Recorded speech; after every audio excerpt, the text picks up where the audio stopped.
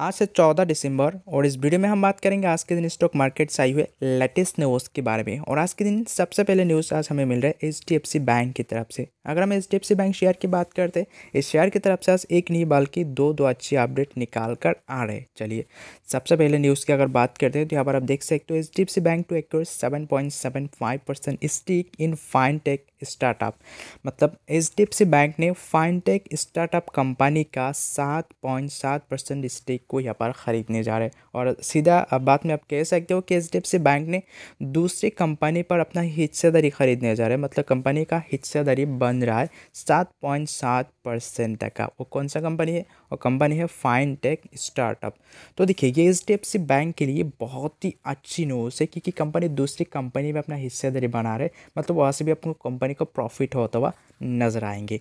और साथ ही साथ दोस्तों, इसके अलावा एक और अच्छी न्यूज़ इस शेयर के ऊपर निकल कर है, वो यहाँ पर ये है कि कंपनी के शेयर के ऊपर एक्सपर्ट ने बाय का टारगेट दे दिया देखिए, अनंत राति ने H D F C bank को बाय करने के बोल रहे और टारगेट दे दिया उन्नीस सौ आठ रुपया। मतलब वो कह रहे हैं कि आप डी एफ़ शेयर को बाय कर सकते हो, उन्नीस सौ आठ रुपये का टारगेट आप सेट कर सकते हो, जो अगले चार पाँच महीने में ये छः महीने तक आपको ऐसे करते हुए नज़र आएँगे। फ़िलहाल अगर H D F C share की बात करते हैं दोस्तों तो आप देख सकते हो शेयर सोलह सौ साठ रुपये पे शेयर ट्रेडिंग कर रहे और आज के सेशन में लगभग आधे परसेंट ऊपर जाके क्लोजिंग दे दिया है। फ़िलहाल ये जो शेयर अभी तेज़ी दिखा रही है, इस तेज़ी आपकी आगे भी आपको बरकरार रह सकते मतलब शेयर आगे और तेज़ दिखा सकते हैं। अगर अपने H D F C bank share पर अपना होल्डिंग बना के रखिए आप यहाँ पर पैसा इन्वेस्ट करके रखे तो देखिए अपना पोजिशन को होल्ड करते हो चले अच्छी प्रॉफिट आपको आगे जाके मिलने है। लेकिन अगर आप नए इन्वेस्टर हो, आप चाहते कि मैं यहाँ पर एंट्री बनाना चाहती हूँ तो देखिए आप थोड़ा सा करेक्शन के इंतज़ार कीजिए। अभी फ़िलहाल यहाँ पर एंट्री लेने का सही टाइम नहीं है। अगर आप शॉर्ट टर्म के लिए सोच सके तो आप ले सकते हो, लेकिन लॉन्ग टर्म के लिए यहाँ पर एंट्री पॉइंट नहीं है। आप थोड़ा सा इंतज़ार कीजिए, हो सकती है थोड़ा सा करेक्शन यहाँ पर आपको दिख जाए। लेकिन जो है शेयर आपको ऐसे और तेज़ी आपको दिखते हुए नज़र आएँगे फ़िलहाल की अगर बात करें। बात करते हैं आज के दिन के दूसरा अपडेट की तो यहाँ पर मिल रहा है टाटा पावर शेयर की तरफ़ से। दोस्तों, अगर हम टाटा पावर शेयर की बात करते हैं, इस शेयर शेयर की तरफ़ से बहुत ही अच्छी अपडेट आज मिल रहा है। अगर शेयर की बात करते हैं दो सौ बाईस रुपये, सत्तर पैसे पे शेयर ट्रेडिंग कर आज के सेशन में लगभग डेढ़ परसेंट ऊपर जाके क्लोजिंग दे दिया है। चलिए, अगर अच्छी अपडेट की बात करें तो यहाँ पर आप देख सकते हैं, सबसे पहले आज प्रभुदास ललीदार ने टाटा पावर शेयर को एक बाई का कॉल दिया है। देखिए, अब प्रभुदास लीलादार को मानना है कि आप टाटा पावर कंपनी को इस लेवल से बाय कर सकते हो। और 240 का टारगेट आप यहाँ पर सेट कर सकते हो, जो शॉर्ट टर्म के लिए मतलब प्रभुदास लीलाधार ने ये शॉर्ट टर्म का ये टारगेट सेट कर चुकी है। लेकिन लॉन्ग टर्म के लिए शेयर जो है, आपको चार सौ का लेवल तक भाग सकते हैं। प्रभुदास ललीधर ने शॉर्ट टर्म का टारगेट दे दिया और साथ ही साथ दोस्तों, एक और कॉल आया है, जो यहाँ पर आए हैं वैशाली प्रयोग की तरफ़ से जिनके भी मानना है कि टाटा पावर को आप यहाँ पर बाई किया जा सकता है और शॉर्ट टर्म के लिए इसका टारगेट यहाँ पर 250 तक हम सेट कर सकते हो। और इसके साथ साथ आपको मालूम होगा कि कल भी एक अपडेट आया था, एक कॉल आया था टाटा पावर के ऊपर जिनमें भी टारगेट यहाँ पर दो सौ पचास का ही रखा था, जो शेयर खान की तरफ़ से निकाल कर आया था। दोस्तों, अगर हम शेयर की बात करें टाटा पावर तो फ़िलहाल जो दो सौ बाईस के प्राइस में आ रहा है मतलब इसका जो टू डे मूविंग एवरेज है टू डे मूविंग एवरेज के बिल्कुल करीब ये ट्रेडिंग कर रहा है इसका मतलब इसका ऊपर ट्रेडिंग कर रहे तो बाय किया जा सकती है। इसे शेयर भागते हुए नज़र आएँगे इसका पूरा का पूरा चांस है तो ज़रूर आप यहाँ पर भाग सकते हो। और पहले से अगर आपने टाटा पावर पर अपना होल्डिंग बना के रखिए तो अपना पोजिशन को यहाँ पर होल्ड करते हुए चल सकते हो।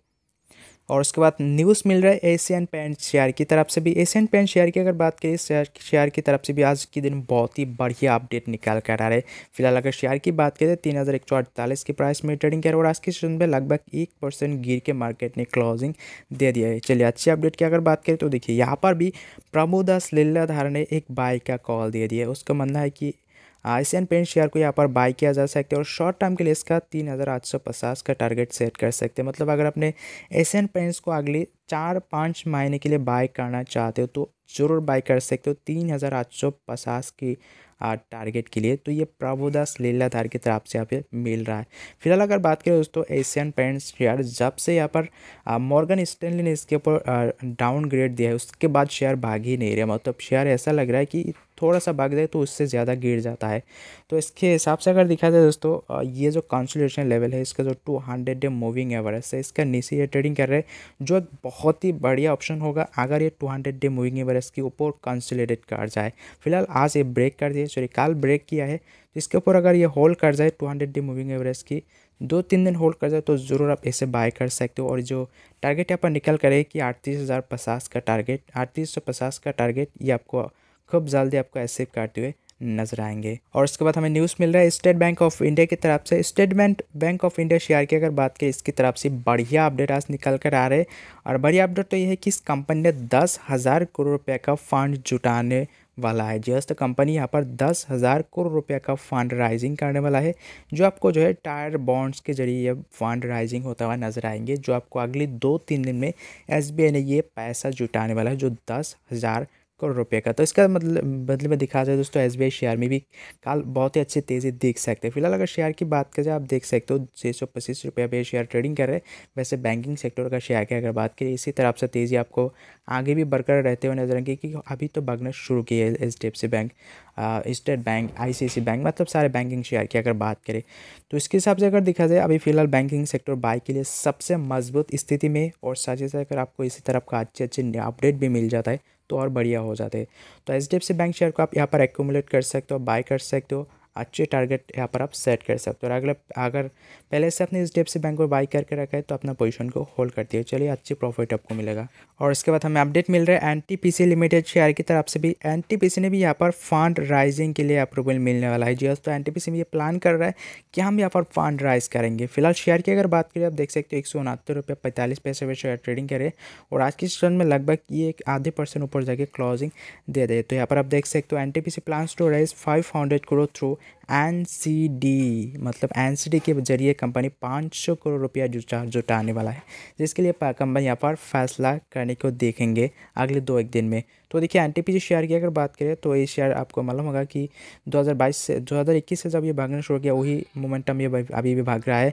तो आगे भी ये जो ऊपर, अपर साइड का तेज़ी है, ये आपको बरकरार रहते हुए नज़र आएँगे। तो ज़रूर आप एन शेयर को भी देख सकते हो, और अच्छी, अगर कोई अपडेट मिल जाता है तो उसका भी इफ़ेक्ट देखने को मिल जाएगा। मतलब कल जब मार्केट ओपन होगा तो एन शेयर में एक बहुत ही बढ़िया मोमेंटम का, की आप उम्मीद कर सकते हो। वैसे स्टॉक ने यहाँ पर फंड राइजिंग के लिए न्यूज़ दे दिया है।